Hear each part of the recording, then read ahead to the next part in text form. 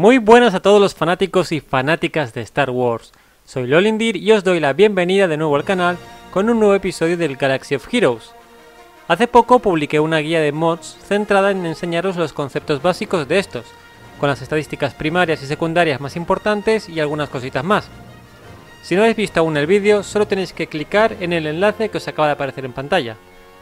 Suponiendo que esos conceptos básicos ya los tenéis dominados, hoy vamos a hablar de cómo obtener velocidad en secundarias, qué mods valen la pena subir de nivel y cuáles fraccionar. Por supuesto pensad que esto se basa enteramente en mi opinión y no tenéis por qué seguir todo lo que digo a pies puntillas, pero espero que os sirva de ayuda. Empecemos con lo que más le interesa a todo el mundo, cómo obtener velocidad en secundarias. Y os destripo el triste final de esa pregunta, no hay ningún truco para conseguirlo. No importa a quién sigáis en YouTube ni a quién escuchéis, no existe ningún truco para aumentar la probabilidad de que encontréis mods con velocidad ni de incrementar que estos suban de nivel. Lo que sí puedo explicaros hoy es cómo buscar esa ansiada estadística de la manera más económica posible. Esto que vais a ver ahora es algo que suelo hacer una vez cada dos semanas, ya que así, además de buscar mods mejores, mantengo limpio mi inventario de mods que son una pirria. Lo primero es entrar a la pestaña de mods e ir a filtros. Luego seleccionamos una casilla de las 6 posibles, en este caso empiezo por cuadrado. Esto lo hago por tener más claro los mods y que no sea un batiburrillo, pero no es algo estrictamente obligatorio.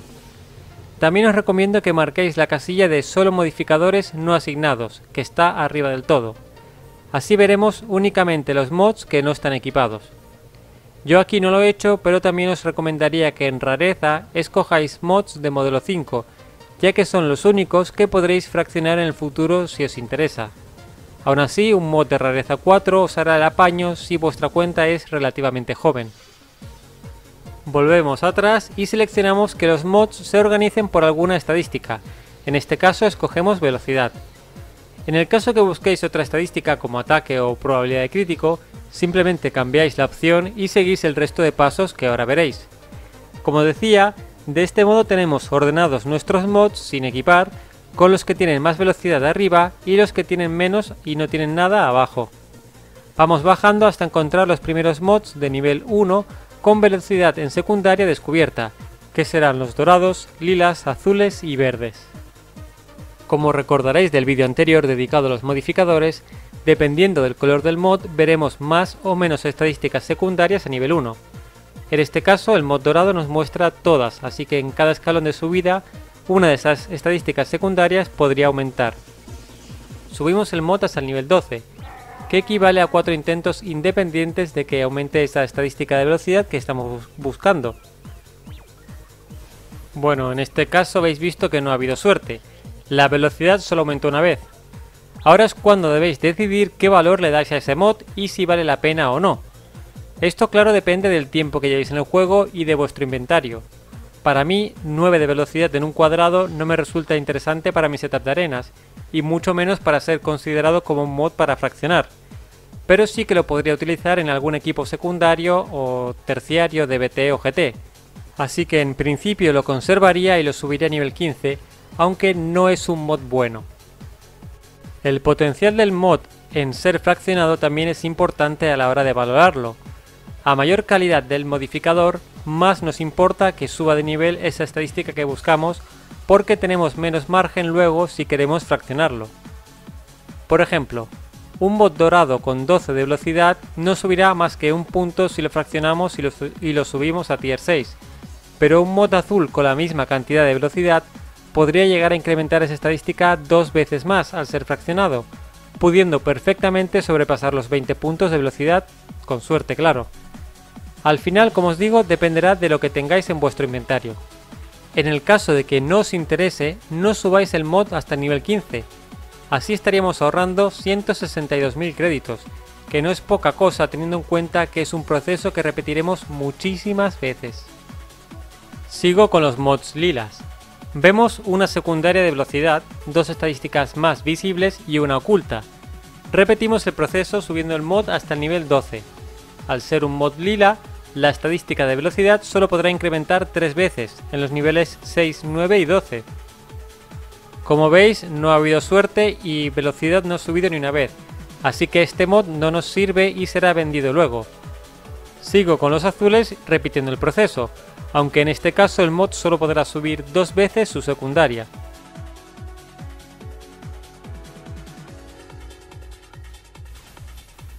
Me cago en la mar. Bueno, tampoco ha habido suerte con este, ni una vez.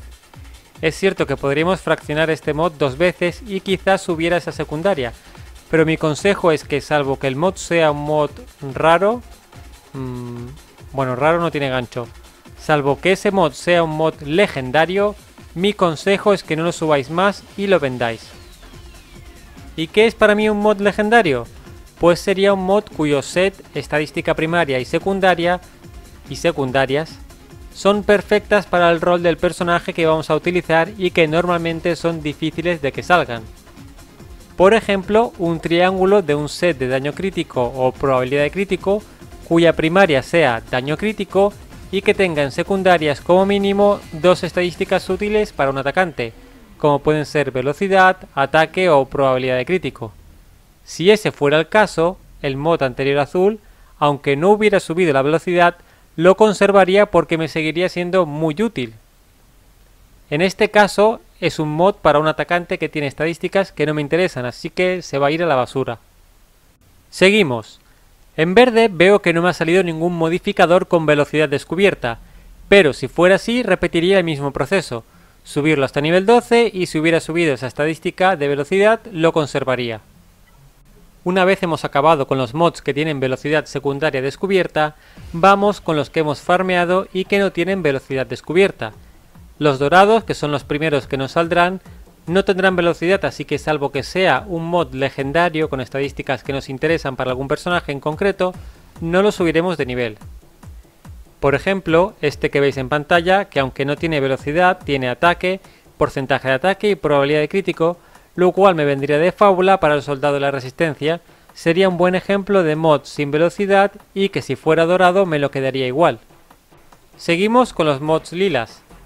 En este caso subimos el mod hasta nivel 3 y si se ha descubierto velocidad repetimos todo el proceso anterior, es decir, subirlo a nivel 12 y si la estadística de velocidad que hemos descubierto ha subido nos quedamos el mod. En caso de que el mod no tenga velocidad al subirlo a nivel 3, lo dejamos tal cual para venderlo luego. Con los mods azules tenemos que hacer lo mismo, solo que hay que subir el mod hasta el nivel 6, y con los verdes hasta el nivel 9. Si aparece velocidad, lo subimos hasta el 12, y si no, lo vendemos. Muy sencillo. En cuanto a los mods grises y si vale la pena subirlos de nivel, es algo que depende mucho de vosotros, de vuestros créditos y de los materiales que tengáis para fraccionar.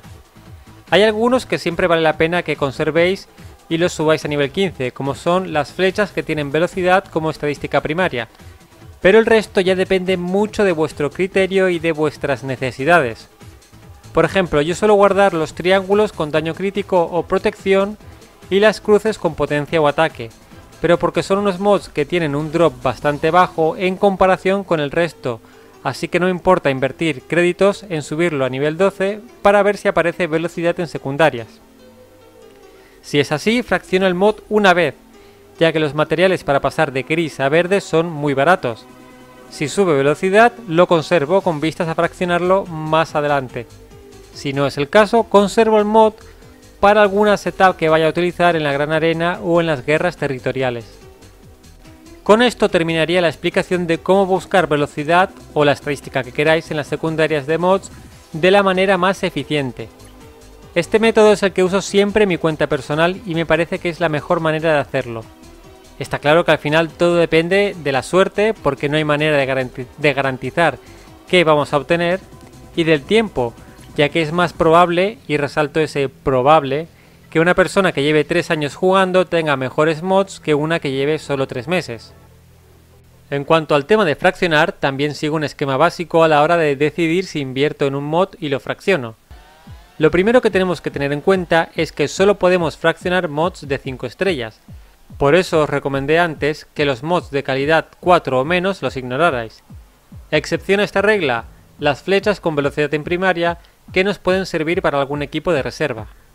Para decidir qué mod vale la pena fraccionar, lo primero es observar bien el mod y pensar si en el hipotético caso de que subiera ese mod a dorado y la velocidad subiera todas las veces posibles, sería útil.